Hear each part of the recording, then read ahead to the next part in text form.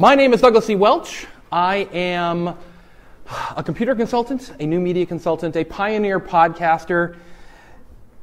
I started podcasting about one week after the term was coined back in 2004. The fact is, I had some content I was already contemplating putting up in audio format, and when podcasting came along, it just sort of jumped out at me. I'm also the founder of NewMediaInterchange.com. This is a free group, uh, founded about oh, five months ago, uh, which is designed to bring new media to everyone, not just the techies, not just the e-learning professionals, not just people who you would typically think about new media, but everyone the salon owners, the restaurateurs, the realtors, everybody. And that's sort of what this session is about today. Many to many media in the new learning ecosystem. Well, the truth is, and you guys have already figured this out, learning is everywhere.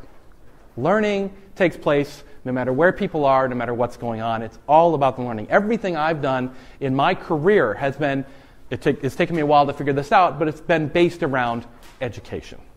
New media is just simply one way that I use to communicate and educate everyone else. If you have any questions, throw up your hand. I'll answer anything and everything except perhaps my age, but you can probably figure that out. For a hundred years now, we have lived in a one to many media world. We had newspapers, we had radio stations, we had television stations. There's an old adage that says, the power of the press belongs to those who can afford to own one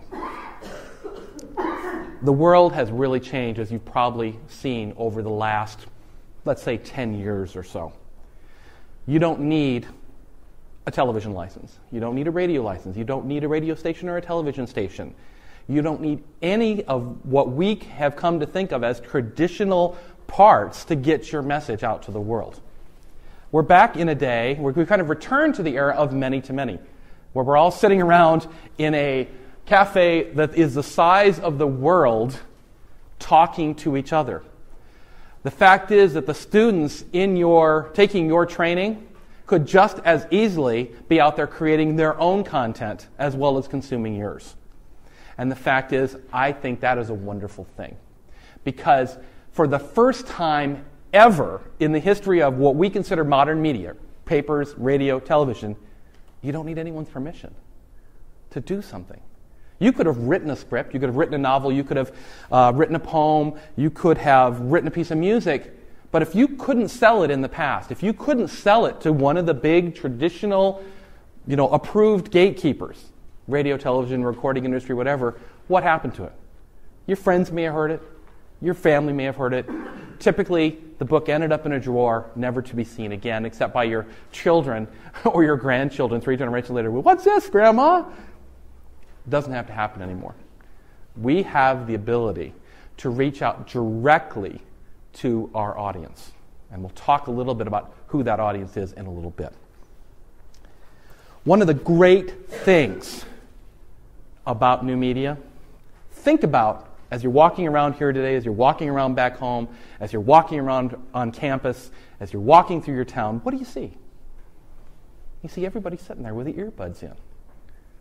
You are literally, when you create new media, whispering in their ears. I came across this phrase when I started talking about new media. It just struck me one day as I was sitting there listening to podcasts on my own. This person is literally whispering in my ears. Text is intimate. We can all cry at the end of Harry Potter, right? Okay? It can move us. We can cry at the end of War and Peace, to use a more classical example. Audio is an exponential level more intimate than text, hence the whispering in their ears. And video is even another exponential level higher in intimacy.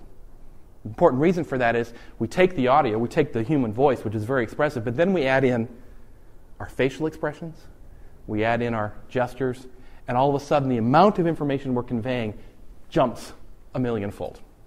It's not about being pretty, it's not about, this isn't about traditional media. This isn't about television and the newscaster. Hi, I'm Douglas C. Welch, reporting live. No one cares what I look like. I, you know, I've been described as having a face for radio, which you may have heard. The fact is, it doesn't matter.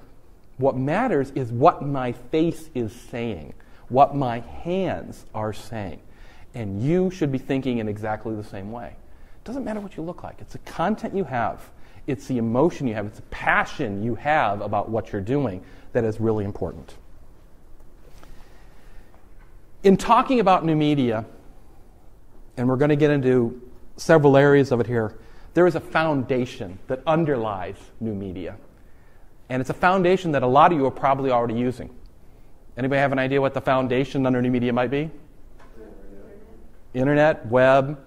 What's one level higher than just the web by itself? Blogging. Blogging and blogs are the foundation on which all of new media rests. And there's several reasons for that. One, you have a textual interface, you can easily enter data on a whim. We don't have to pull up the web page in Dreamweaver, edit the web page, save it out as a new name, FTP it up to the website. We can go to an interface like blogger.com, or if you're using WordPress.com, two of the more common blogging engines out there. We can go to that interface, type it in, copy or paste in, add a picture, hit publish, and it's on the web immediately. We didn't have to go through all that traditional frou-frou that we used to have to go through. I've been doing the web since it wasn't vetted, and frankly, I am so happy for blogging. It has made my life so simple because now I don't even need one of these anymore. If you look on my iPhone, there's a WordPress app. There's a link to blogger.com. I have links to Flickr. Anyone, from anyone familiar with Flickr? What can you do with Flickr once you upload a photo to Flickr? Hit the blog button. Send it to whatever blogs you want. It's amazing how easy it's gotten. But the fact is, blogging is what all this stuff rests on. Because what it provides you, it also provides you a release mechanism for your media. As you might already know, some of you might already know, what do you do if you want to release an audio podcast? You put it in your blog. If you link to a media file in your blog, in most cases, it automatically gets scooped up, put in your feed, that thing that people subscribe to for your blog, and if they're using iTunes or something similar, the media just appears on your audience's computer. And if they're using an iPod, not required, if they're using an iPod, it shows up right here. You have developed an end to end multimedia broadcasting system using, in most cases, free tools. And you'll learn as I go through my talk today that free is my favorite word. easy, probably followed immediately by easy, of which both of these are. So, free and easy.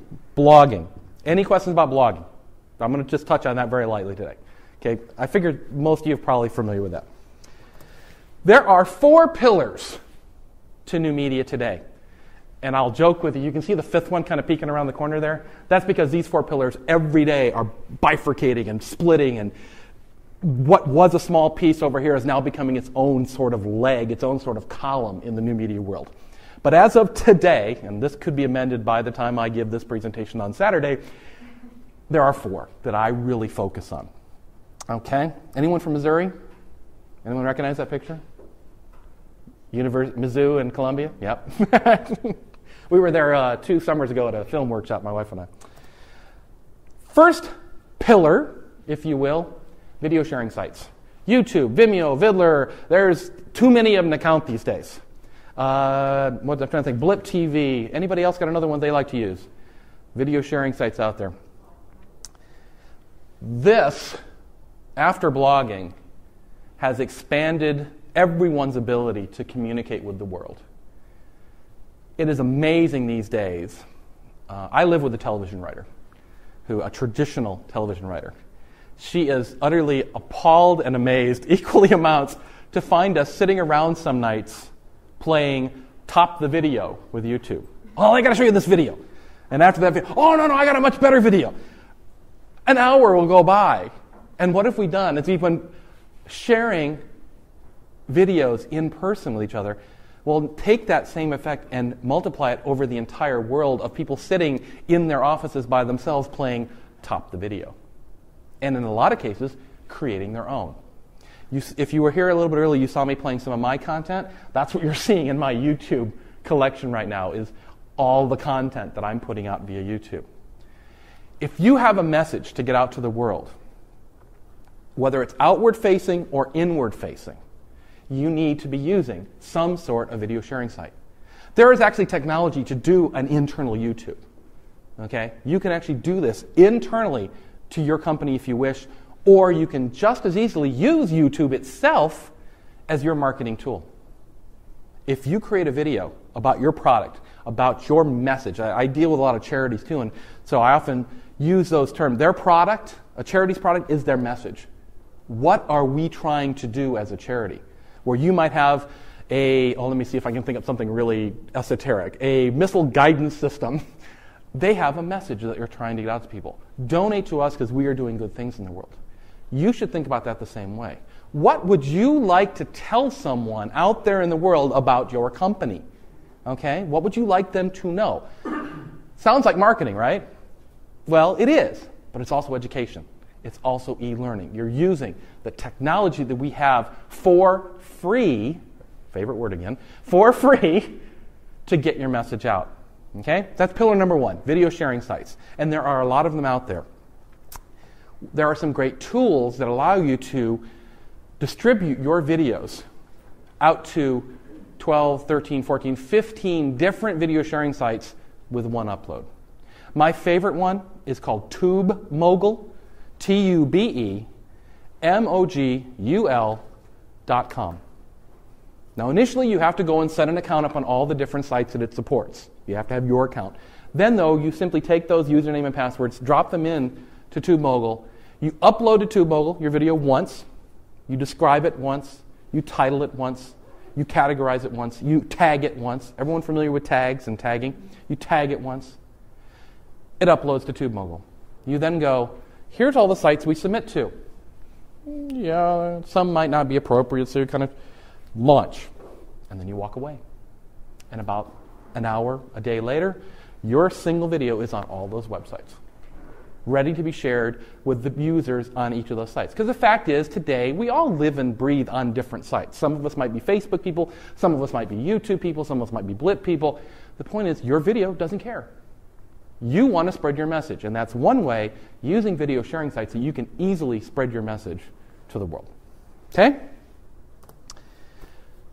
Next pillar podcasting. Who is that funny looking guy? Podcasting. As I said, I've been podcasting basically since the term was coined. Podcasting offers a couple of advantages over video streaming and sharing sites. Because a lot of people often get confused. well, isn't putting something on YouTube the same as sending out a podcast? And the fact is, no, it's not. And there are two very good reasons why they're different.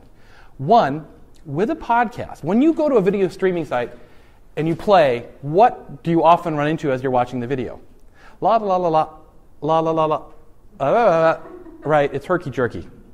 The quality isn't that good as well because it's been compressed and it's being streamed.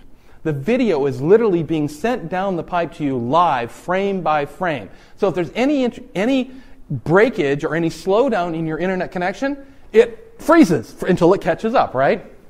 And this happens even on some of the fastest internet connections simply because YouTube's too busy, your neighborhood's too busy, your computer, you saw me, my, I got some herky jerkiness when I was showing the videos here.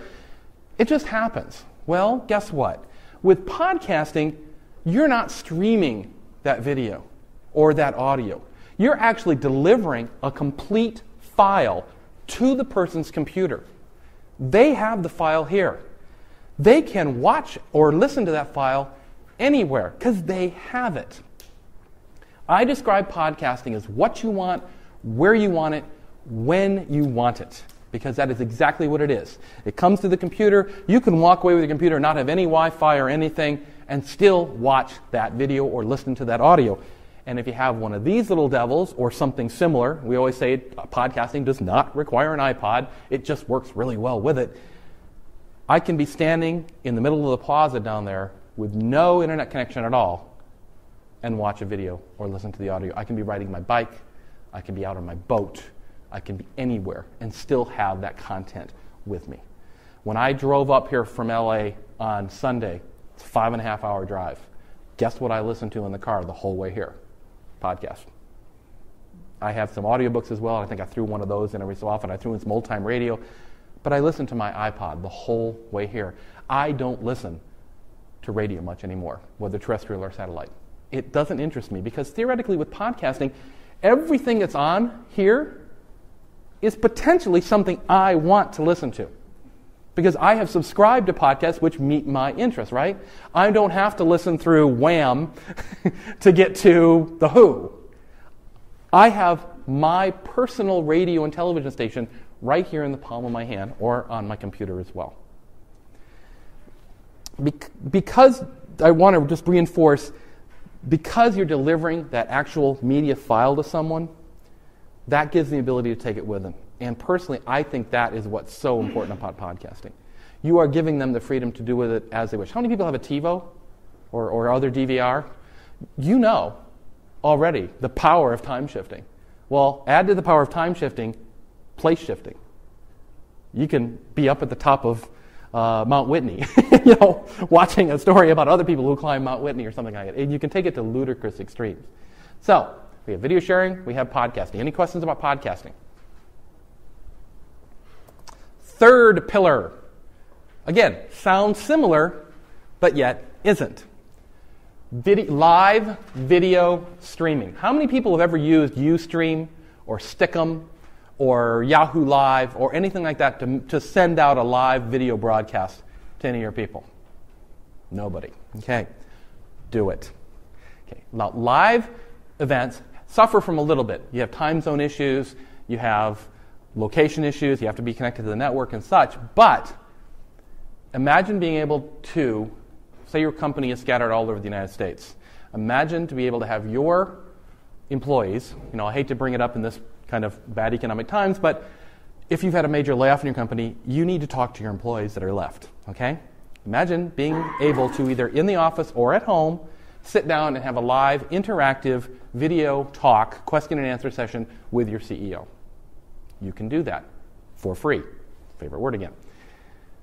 Ustream allows you, using a built in webcam, a camcorder plugged into your computer being used as a webcam, an external webcam, to basically stream live, stream video and audio live from wherever you have an internet connection, including doesn't work quite as well, but if you have an EVDO card, the cellular data network like this thing uses, the 3G network, you can even do it from the middle of a field if you want. Because as long as you have a data connection, you can do it. In some ways, the quality can be quite good. If you have a nice, good internet connection, the audio and video quality can be outstanding. I have a friend who has a band, and this is something I tell all musical groups. You want to inc- increase your profile, you want to get more people to your shows, you want to interact with your fans more, start streaming every single one of your performances. We streamed one of her shows. We had listeners who loved her music. Obviously, they were in Europe. They could obviously not come to Southern California to see the show.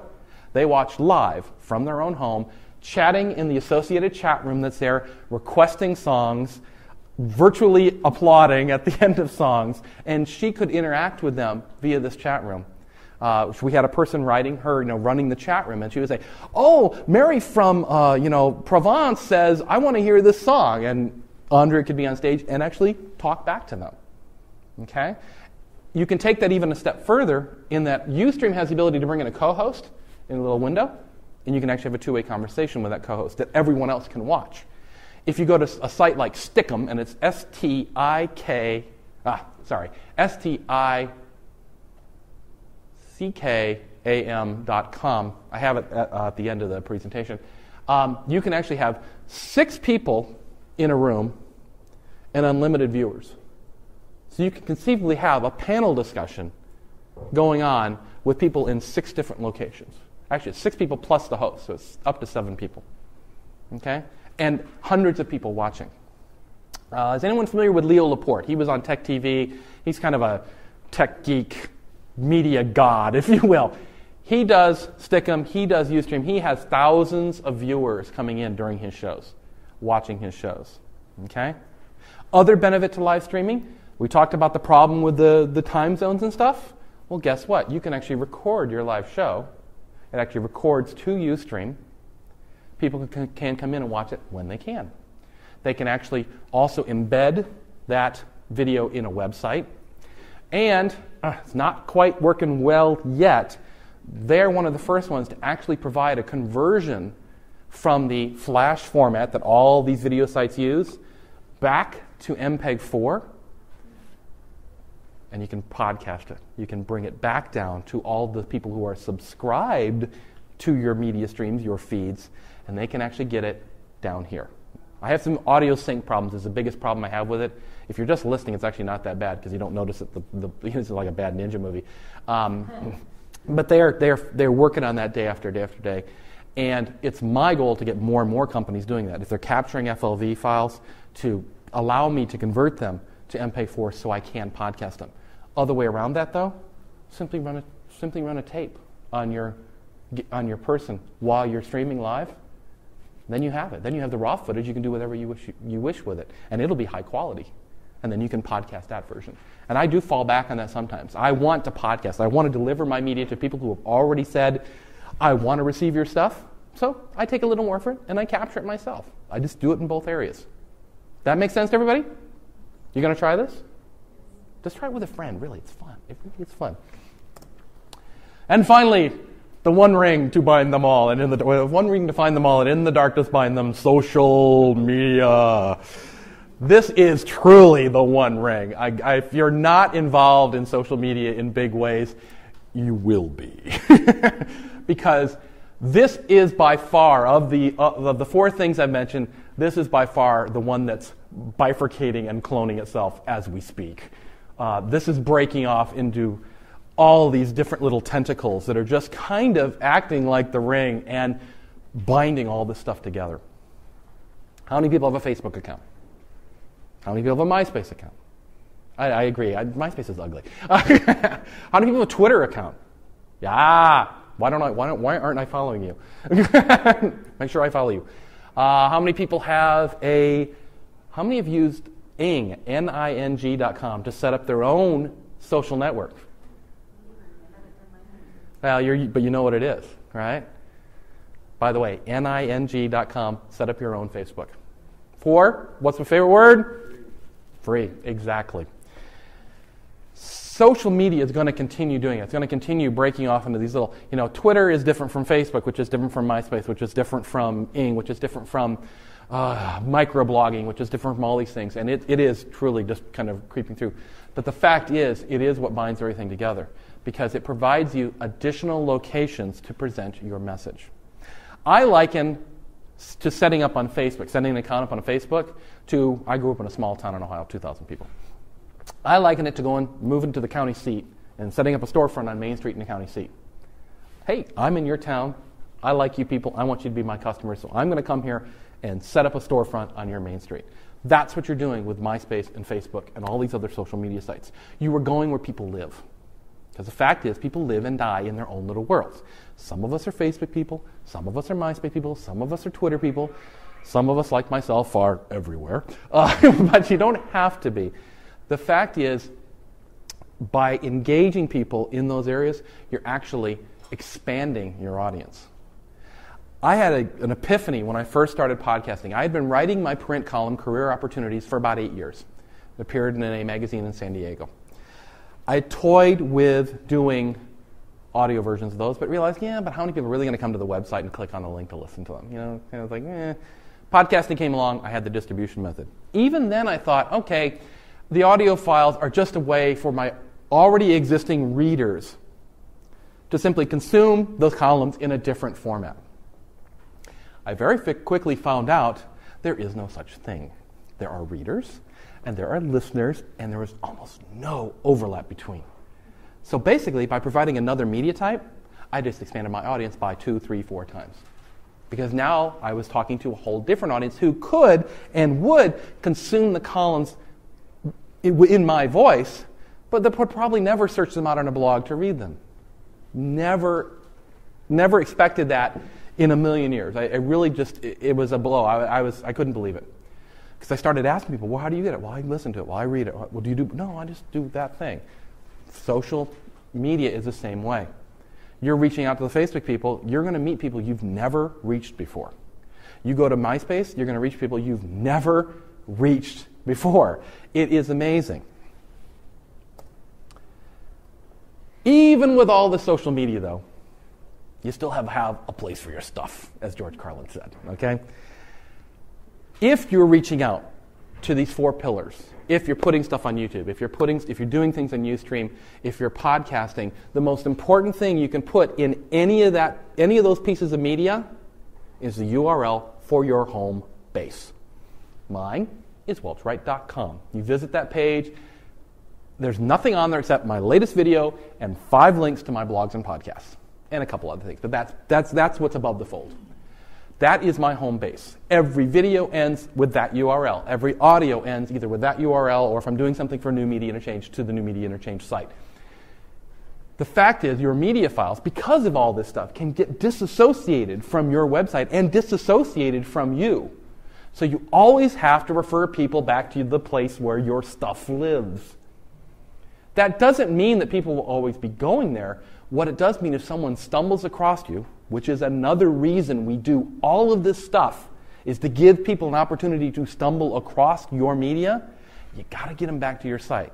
Because your goal is to capture them. Your goal is to friend them on Facebook. Your goal is to get them to subscribe to your podcast. Your goal is to get them to sign up to your email newsletter. Your goal is to have them give their permission to you to come into their ears and eyes whenever you have something to say. Now, as you might imagine, though, have something interesting to say when you do that because they can revoke that permission with a click, okay? The fact is, people are willing to give their permission for you to come into their homes and into their computers and into their iPods if they like what you're having to say. And in fact, you don't really know who your audience is until you put something out there. Just like I didn't know with my podcast that I would have listeners and readers. You can't actually know who your audience is until you put it out there. I have people tell me all the time, well, what do I have to podcast about? And it's like, my friend Carrie, she's an amateur natural. She's actually getting her degree in ecological studies right now. And I said, Carrie, you know every lizard that lives in the San Fernando Valley, where its habitat lies, what its food source is, how it reproduces. What do you mean you have nothing to say in a podcast? And her response is, Well, who wants to hear about that? Other herpetology geeks like you. There are over 25 knitting podcasts in the iTunes podcast directory. Okay? Knitting. There was oh, some, I saw Twitter earlier. Who was knitting? Who was knitting? Was it in here? There was someone knitting in the, in the, uh, in the um, uh, keynote this morning. I see people. I see people doing that all the time, actually, in, in conferences and stuff. It's it's something new. I Twitter, they knit. Okay. Who would have ever? Okay, I can guarantee you there would never be a weekly knitting show on television nationally. Now there might be locally, because I know in uh, in Ohio at Bowling Green we had a quilting show, but PBS, you know, once once a week, once a month, not. This, these, there are 25 of these shows out there, and they all garner an audience because there are always other people interested in what you're interested in. There's always people interested in what you have to say, no matter how esoteric it gets. There are nanotechnology podcasts. There are weapons industry podcasts. There, there can be a podcast about anything, and the fact is, you have something important to say. You have a message to get out, you have something you want to communicate with the world. There are other people out there who want to listen to it. We're not conditioned for that. We're, we're conditioned after, over the last hundred years of saying, well, if it's not on network TV, it doesn't mean anything. To which I say, there's stuff on network TV now that there are podcasts that are much better than what's on network TV right now. In fact, I would like to see some of the podcasts get broadcast because then they would get out to more people. But the fact is, it's not about more people. It's about connecting with the people who are interested. Okay? I do a gardening podcast. There are probably 50 more of them out there, probably more than that. I'm probably underestimating that by a hundredfold. Uh, I do a technology podcast. A bunch of technology podcasts out there. People listen to mine because I have, it's, it's about what I have to say about the technology. It's not just parroting what everyone else is, it's not just press releases and, oh, a new product came out. It's about me dealing with my day to day consulting clients and what I ran into and odd things that I ran into. I also do a class at my local library twice a month. I stream the class live. I then podcast the audio from the class every two weeks at the end of it. So if people weren't able to tune in live, they can listen to it. I had actually thought about not doing that. And I mentioned that during one of the classes, and I got three notes that said, What do you mean? I listen to those every, every time they're on. It's like, okay, you know, I, I don't know my audience. You don't either. There are so many new things out there that I know, because I hear this from people, they get overwhelmed. God, I got to try Twitter, I got to do Facebook, I got to do MySpace.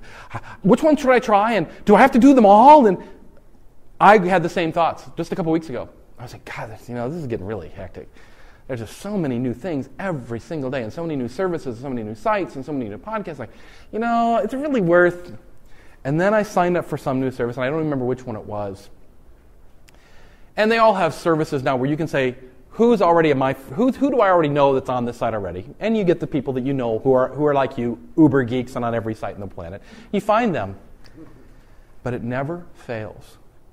I always find five, six, seven, ten, twenty people on a new service that have never heard of me before.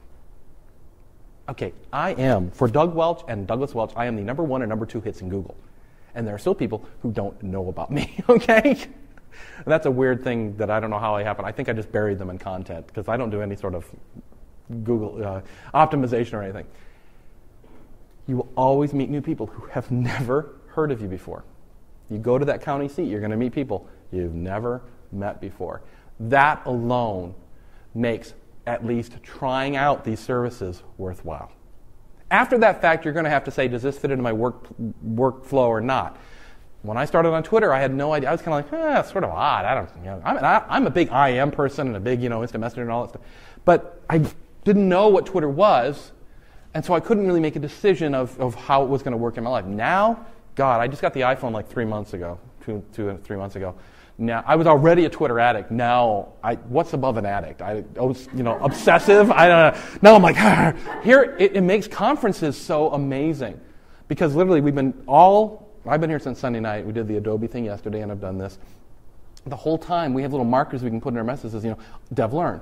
And then you can follow other people who are putting DevLearn, and you can see basically what's going on in the whole conference. Oh, I'm in session number 202. Oh, and it's good or it's bad or it's indifferent or whatever. Oh, uh, something. Oh, and you know they'll they'll, they'll uh, Twitter out quotes from the session, whispering in their ears. Twitter that. Okay. they'll Twitter out quotes from the session, and I can't possibly be in every session at this conference, but in some little way, I, I can I can get a feeling for what's going on. Last night for dinner, we got uh, we got done about 4:30, I guess. I went back to the room. I was falling asleep in the room, but I was watching the Twitter stream, and it's like, okay, we're starting to gather in, in the lobby for to figure out where to go for dinner. It's like, oh, okay, better get up now because otherwise I'll fall asleep. Went downstairs. There was a horde of like 30 people downstairs, all meeting up for dinner. And about 16 of us went over to Il Fornaio, just s- seriously through nothing but reconnecting. You know, some people we knew, some we didn't, but just reconnecting on Twitter, we were able to self-organize and say, let's go to dinner. I, the, the conference use of Twitter is what really sold it for me. I also use it to basically give people information about me that they might not otherwise know. If you follow me on Twitter, you'll very quickly realize that I am a coffee lover. Almost to the extent of every. I, I say a geek in one thing, a geek in all things.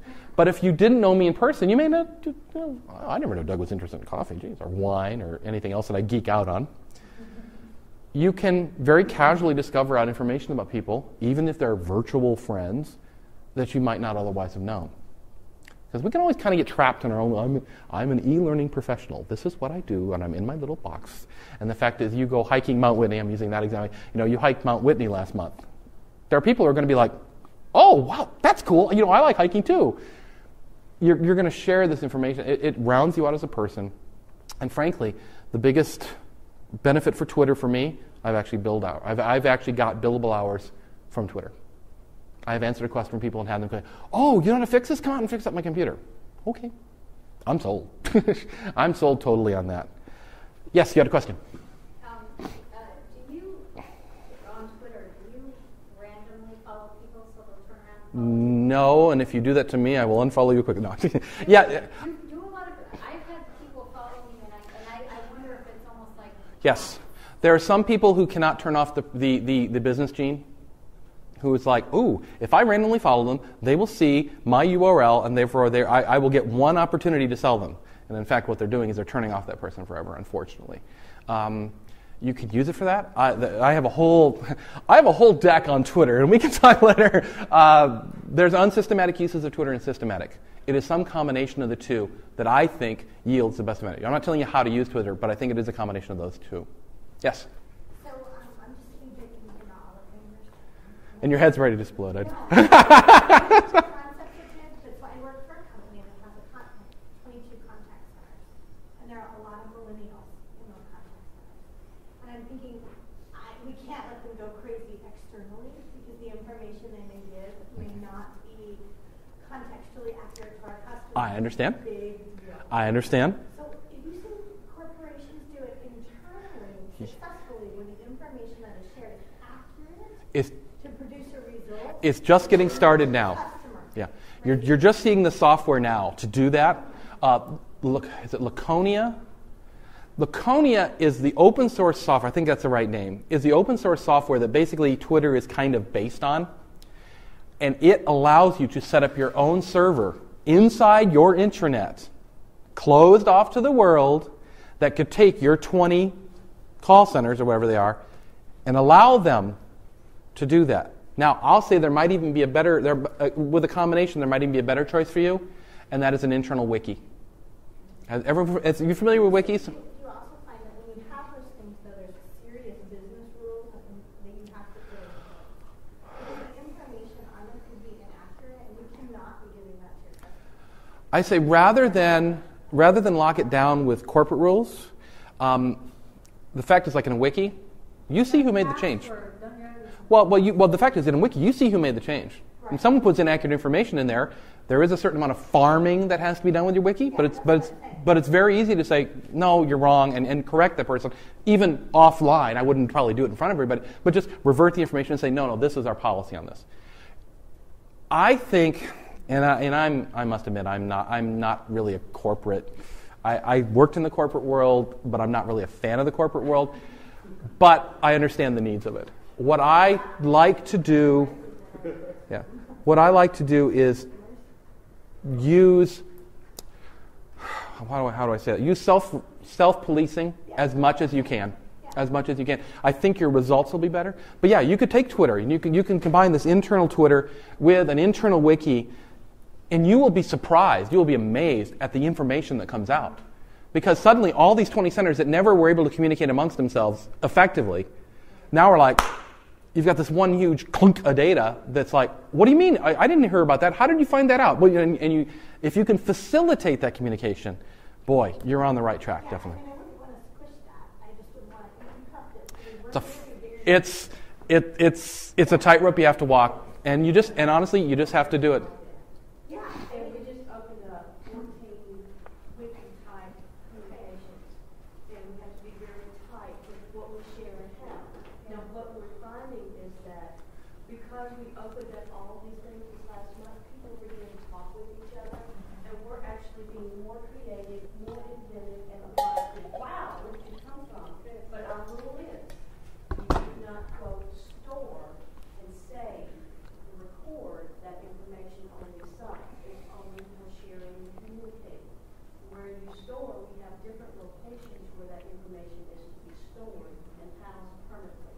So we can talk with each other and we can talk about the sun and the moon or actually the process is working good, it's not, but it's not something that we're going by for procedures. We're using it to communicate more and it is just has exploded and we have grown this last couple of six months. There was a question. I'll let you fight it out amongst yourself. First, uh, one woman in front. Oh, okay. Um, I work with a company that makes TurboTax and Quick Intuit. Into it. Intuit. And um, one of the things that we recently did, and this isn't the division I work in, but it's been fascinating to watch the evolution of it, is um, the TurboTax Live community. And so there was this real desire to kind of reduce our dependence on um, seasonal hires to staff our call centers, and there's a tremendous amount of training that has to go into, you know, getting people up on the product and all that sort of thing. And so the concept became, well, could we just post it out on the internet and have users answer everybody's questions on their own? And to your point, was that there was, you know, we were Sarbanes obviously, we're financial services, oh my gosh, how are we gonna do that legally, you know? And uh, it's been amazing to watch because not only have we absolutely reduced the number of hires that we had to do seasonally, but the users actually are more accurate in their responses than our ever had. And, and, you- From eighty-six percent accuracy Yeah. to like ninety-seven percent, and moderate. Yeah. A moderate. and you know why they're more accurate? They do it. They use it. And that is a perfect segue. Dixie, I'll get to your question in just a second because I want to move on to my next slide. That's a perfect question, a perfect segue because, up, I'm going to go. The power of new media is in the doing. You can think about it till the cows come home, or you know uh, what other unearthly expression? Can you tell I'm from Ohio? Uh, you can do it until the cows come home. You can think about it, but if you're not doing it, it does. It, I see people get paralyzed every single day. It's got to be perfect. I can't put it out there until it's perfect. And I always say, perfection is a goal. Perfection is the clouds in the sky. It's a you want to shoot for that. You want it to be as nice looking and as nice sounding and as well put together as you possibly can, up until the point that it stops you from doing it. Because the power is in the doing. And so my final message today is that. Okay? If any if I send you away with any message today, that's what I want to send you away with. Do it now. You will be amazed. Just like the people we've heard, you will be amazed at the results that you, you never will have expected if you just do it. Dixie, you had a question. We all like to believe that we work in and live in, in learning organizations, and the organization will even tell you that it's a learning organization. But what I have run up against is the fact that the last DevLearn, I went back and I said, I want to set us up an internal wiki. We've got 12 developers. I want to capitalize on what we're doing. Let's try it in the training department before we blow it up. I have been met with resistance at every corner in the organization. IT has now shut down. You can't get to wikis. Are shut off. We have now had shut off YouTube. Nobody in the company can get out to YouTube. So the medium that is now needed to reach the, the very people that work for us, mm-hmm. this fear of people not doing what they should be doing if they're doing that. How do you get around that in, in what I consider, for the most part, a progressive organization, but somewhere this part of their brain died? You know, and that and, and, and unfortunately, and let me let me put on my career opportunities hat here for a second. Uh, unfortunately, the only thing we're left with sometimes is to go somewhere else because if the institutional memory of the corporation or the company is such that there is, and oftentimes it's really frightening, and I write about this oftentimes, it can be one person blocking the whole thing. If you can't creatively figure a way around that person, you're stuck. We've got more than one. Yeah. It's, it's an organizational belief. And we have lots of comments on that. So go ahead. Yes, sir. What we do is we don't tell anybody. Yeah, that ask ask forgiveness, not permission, right? Yes! we get access to the servers. we have our own servers, we work in the training department. And IS would probably love to take our servers from us, but we just don't tell people what we're doing. Um. Particularly if it's a website out there that uh, we can get unblocked or something and it's not malicious, then you will. Yeah. So in your own training department, you have your own server? We have our own web server, we have our own SQL database. Yeah. Yes, ma'am. Oh, I'm sorry. There's another piece of this. As this opens up, this changing the paradigm dramatically. I'm a consultant and I'm hitting that with all of my clients, and I have to tell them on a regular basis, security of information is dead. Somebody comes in with a camera on their phone, it's dead, it's past, it's gone. But tightening up like this because it's scary, it's going to go away. They're going to have to loosen up because the Gen Ys are coming in, the millennials, and saying, if, I, if you cannot guarantee me social networking capabilities, I'm walking. We're seeing that in our yep. clients. They're leaving because there's not enough. I, I am not going to be able to network myself within this organization because you're shutting this down. I am out here. They're leaving. And so right now, the corporations are like, no, no, no, you're not doing anything in here. Productivity, productivity, productivity. They're su- their productivity is suffering because they're clamping down, but that's going to open up because it's going to have to. I gave. I gave our security expert at Walt Disney Imagineering when I worked there back in the late 80s, early 90s a, a fit one day because we were all we can't email that, can't do that, can't you know this is this is early in the internet, you can't email that. And it's like, oh no, we can't we can't put that out there because it might be, you know, emailed to someone. And I said, have you looked at the fax machine lately? do, do you see a padlock on the fax machine? And worse still, we use thermal faxes. I grabbed a ribbon out of one of them and I go, what document you'd like to see that's been faxed out of this office in the last week? It's exactly right. You, the point is to have your information and good information out there. You, you cannot withhold the information any longer because it's going to kill you. It, it, it's going to drive you mad, I would say. It, it's going to drive the, the, your corporation absolutely mad because they're going to get really, really paranoid until the point where they're just going to become very non functional. Well, I'm afraid we're starting to limit ourselves on our, our employee base. Employees don't want to come to work for organizations who aren't allowing them to use what is second nature. Mm-hmm. You're right. Because they want to organize out in the world, but they also want to organize internally, like we were just saying with your with your centers. They want to talk internally. I knew that when I was on the help desk oh, ugh, years ago, I would have. I, I was on the help desk before there was wide use of the internet, when we were dealing with bulletin boards from vendors and stuff like that internal information sharing was required and it usually took form of standing around the water cooler saying did you run into that what have you done if you run into i mean seriously we have so many tools available to us these days that we really need to make use of them yes sir Uh, I know there's plenty of anecdotal evidence, and I think we all agree to that. It- Does anyone know of any empirical evidence that says this is, this is the productivity gain? i find i'm going to putting on my career hat uh, i find that the problem that dixie mentioned is what you start to run into the quality and the quantity of employees that you are able to attract to your company you can simply not attract the brain power and if you need them I think you're preaching to the choir. and retaining It's the retention part. Sounds like good, uh, it sounds like good research possibility for e-learning. Sounds like e-learning. guild- Sounds like sounds like if someone wants to do their master's thesis. My wife's my wife's writing her dis- PhD dissertation right now, so there's a bit of unique research that could be done. Hmm? Um, I am actually sure, uh, and, I, I'm not an expert in it, so I will totally admit that. Uh, I would say, I bet if we search the internet, we could probably find some hard data on it because I'm sure people have addressed it, consultants especially, because this is something they deal with every single day. How do I prove it to this company that this is worth doing? Then you have to start showing them hard numbers. So I'm sure, I'm, perhaps even you could, could lead us to some data on that. Um, that's not my bailiwick.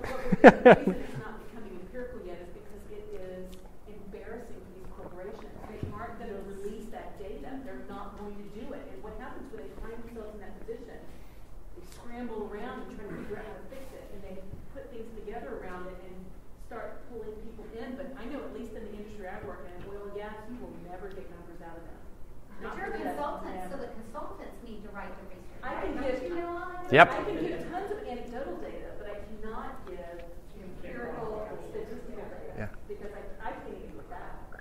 I see it happen. And we have to remember, too, and this is something I always bring up because it's important, uh, because I deal with traditional media people in Los Angeles all the time.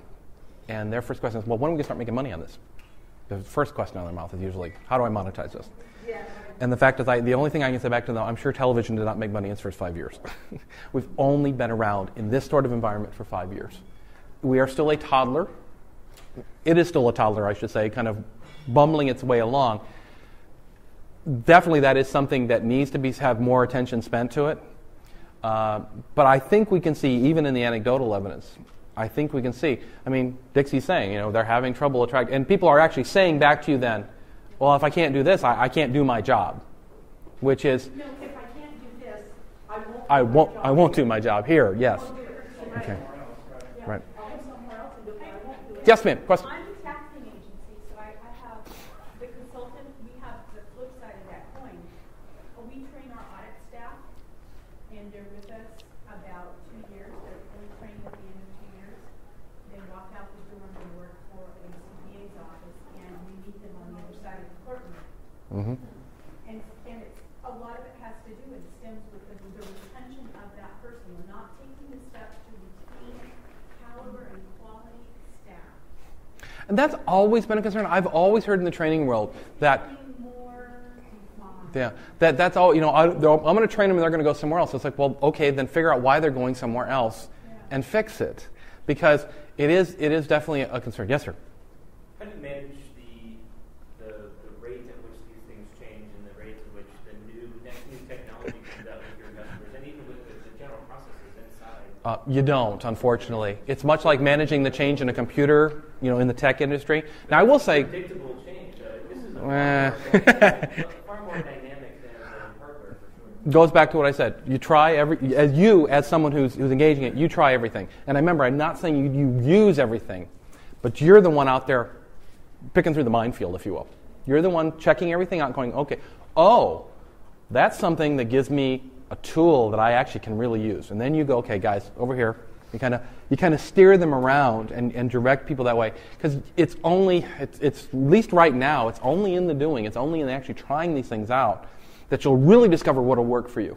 There's a great application out there called Evernote. Does anyone use Evernote? It's a great application. I cannot fit it into my workflow at all. It's, it's I, I don't know. It's just it doesn't fit the way I work, but it's a great application. It, allows you to store photos. You know, it's a, it's a, data collection tool. Take photos on the iPhone and actually do text to uh, do OCR on the text and things so you can search on. I just cannot, and that, that's exactly the type of thing you run into. It just for me, it doesn't connect, and that's your goal. Is just to, and again, you don't spend a lot of time on this, and you may revisit things later you know, right now you may not have use for it, but down the road you might. So you can't. at least you know about it now, and it's like, oh, oh, you know what? We now have a need for this type of thing. And I remember back, uh, you know, two months ago, three months ago, there was this thing that came out. Let's go check out it now and see if it works for this. And you'll just start to develop these um, collections of tools that you can use. And frankly, the way you then should do is you actually share that information as you collect it you have it in a wiki. Hey, I got this new video streaming site that has a password protection, so we could actually use this free site to do closed trainings. You know, we don't have to set up our own video server. We can actually use Ustream, which has password protection, send out an email to everyone with the proper password, and only they can get in. You know, the little little tidbits like that you find. Any other questions? Any other comments? Any other brickbats? Does anyone know what a brickbat is? I actually do, but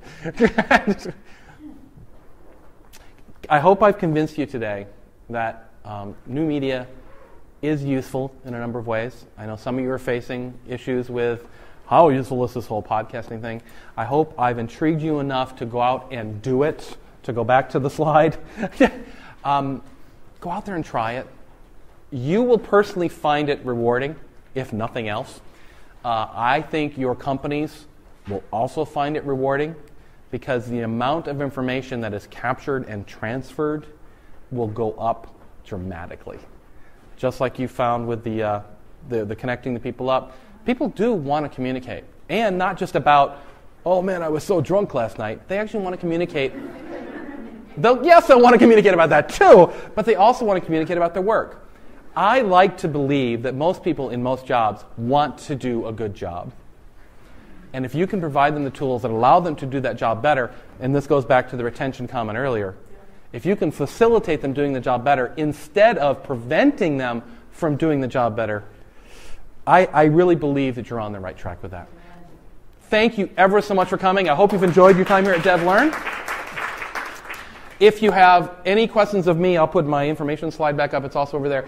Uh, you can find me at my website, my email, my Twitter address, and my phone number if you I'm going to be driving from 5 to 11 this, after, this evening, so if you have any questions, call me in the car. Thanks again, everybody.